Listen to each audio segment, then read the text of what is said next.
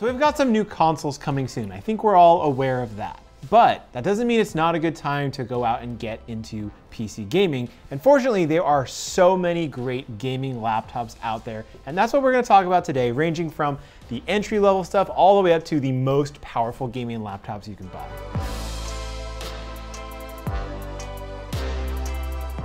So let's start on the cheaper end of things first. None of these gaming laptops can really be considered budget, they just don't really exist, but there are some really good options out there under $1,000. And my favorite is easily this one here, the Dell G5 SE. This thing is all about the amount of performance you get for the price you pay. And the major reason for that is because this is powered completely by AMD components, both on the processor side of things and on the graphics.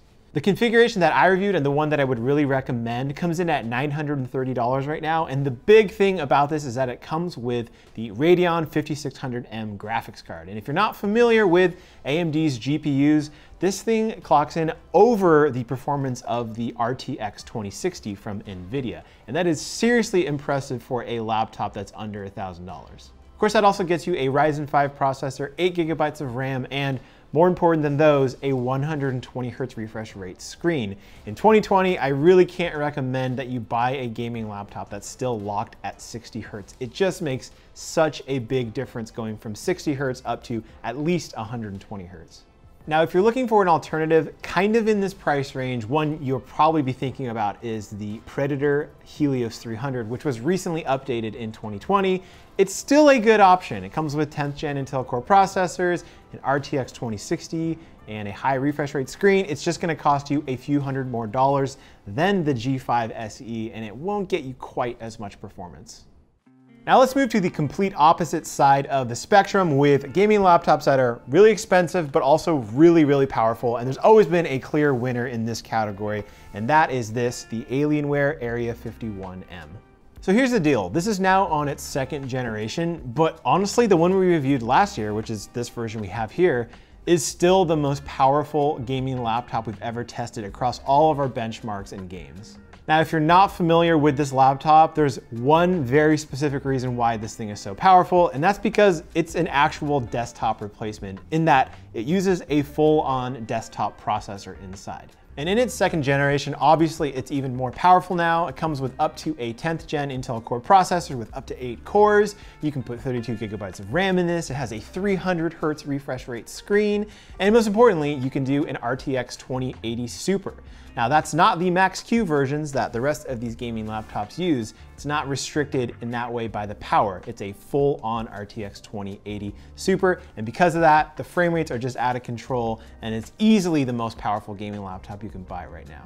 Now the base configuration starts at $2,300, which doesn't sound bad, but a little buying advice, I wouldn't recommend you start at that price because you're not gonna see the real strength of a laptop like this one, a huge 17 incher, unless you start going up the spec sheet. But I get it, this is an extreme laptop. It weighs almost eight and a half pounds, it's a 17 incher, it's really thick. It even requires two power adapters in the back to get the full power out of it. So yeah, it's a niche gaming laptop for sure. So if you want something that's also powerful, but is a little more realistic in terms of portability and form factor, I'd recommend this, the Predator Triton 500.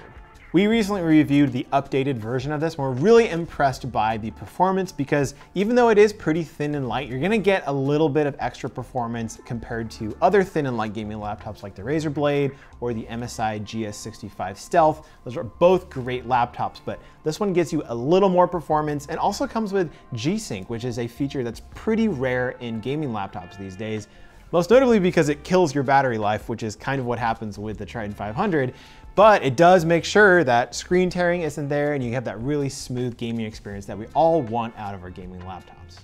Now, if you're out there and all the options I've given you so far are all way too big and bulky for your taste, and you want something that will double as a gaming laptop as well as a work laptop, I've got something for you. It is the Razer Blade Stealth, which might be the most interesting and unique gaming laptop ever made because it's a 13 inch laptop that has a full discrete graphics card inside. What does it come with? Well, it has an NVIDIA GTX 1650 Ti inside, as well as a 120 hertz refresh rate screen.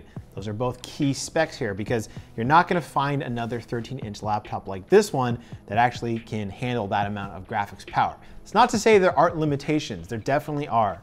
Like if you put a 15 inch laptop with a 1650 Ti next to this one, the 15 inch will definitely outperform it. But you can play most games at around medium settings and get really smooth frame rates out of it. And that is just not something that was possible in any laptop of this size before the Razer Blade Stealth.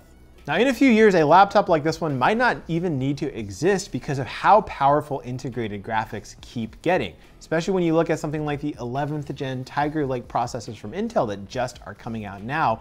They are becoming more and more capable at gaming. It's still not up to quite what the Razer Blade Stealth can do though, and that's what makes this the best gaming laptop for this small of a package. Okay, okay, there's only one laptop left on the table. You know what my best overall is going to be. But before I get there, I have an honorable mention that I have to include here, and that is the ROG Zephyrus G14. Now I had to send this one back after reviewing it, but if you're not familiar, this is an AMD powered laptop, except it has NVIDIA on the graphics side of things. It's an attractive design, it's thin, it's light, but most importantly, it gets you an RTX 2060 and a 120 hertz refresh rate for under $1,500, and that is right in the sweet spot. However, let's get to my best overall pick, and yes, it's true, it is the Razer Blade. And if you're familiar with this channel, if you've been watching for a while, this won't come as any surprise because the Razer Blade has been my favorite gaming laptop for years now. I almost don't know what to say that hasn't already been said about the Razer Blade, but there's really not another gaming laptop despite all the copycats that captures the look and feel of the Razer Blade. It's thin, it's light, the screen is really great, it comes with an excellent keyboard and touchpad experience. It's the most premium looking and feeling gaming laptop you can buy. That's always sort of been true and it still is in 2020. Now what's even better is that in 2020, Razer is offering a ton of different configurations. So depending on your needs and your budget, there's a lot of different ways into the Razer Blade ecosystem.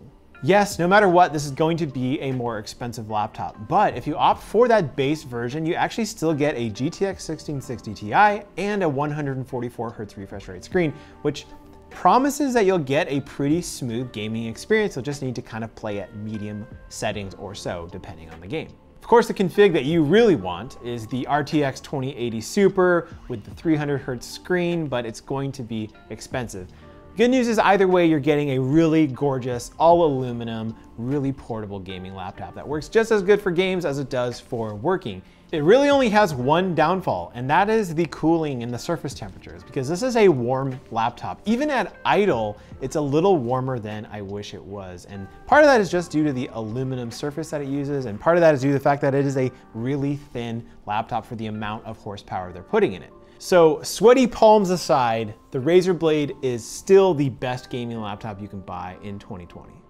Hey, thanks for checking out this video. Make sure to leave a comment below letting me know which of these gaming laptops is your favorite and is gonna be your next gaming laptop. Or if there's one that I've left off the list that's your favorite. And while you're here, make sure you're subscribed for more videos from Digital Trends.